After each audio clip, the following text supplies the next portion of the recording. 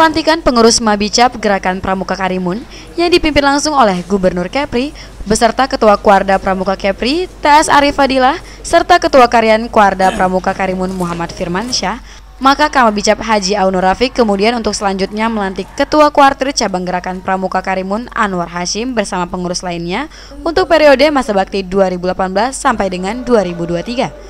Seusai melaksanakan pelantikan, Kamabicap Gerakan Pramuka Provinsi Kepri, Nurdin Basirun menjelaskan bahwa pramuka di wilayah Bumi Berazam sejak dahulu hingga sekarang ini terus mengukir prestasi baik di tingkat daerah maupun provinsi.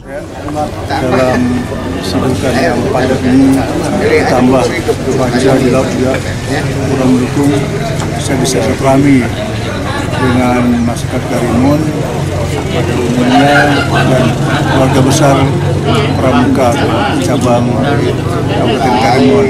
Sementara itu pada sambutannya, Ketua Kuartir Daerah Gerakan Pramuka Provinsi Kepri, TS Arif Fadilah sangat mengapresiasi keaktifan Kuarda Karimun dalam kegiatan kepramukaan, sehingga pramuka sendiri merupakan bagian yang tak terpisahkan dari seluruh kegiatan-kegiatan pemerintah.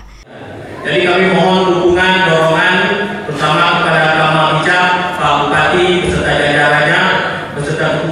kepengurusannya, FKPD mohon dukungan, semoga wakil cabang Pramuka Karimun ini semakin aktif, semakin giat. Dengan dilaksanakannya pengukuhan serta pelantikan, kegiatan pembinaan yang dilaksanakan Gerakan Pramuka Karimun selain sebagai benteng, juga guna mencekal generasi muda penerus bangsa tidak terprosok dalam paham-paham yang tidak sesuai dengan Pancasila, radikalisme, narkoba, serta berita hoaks.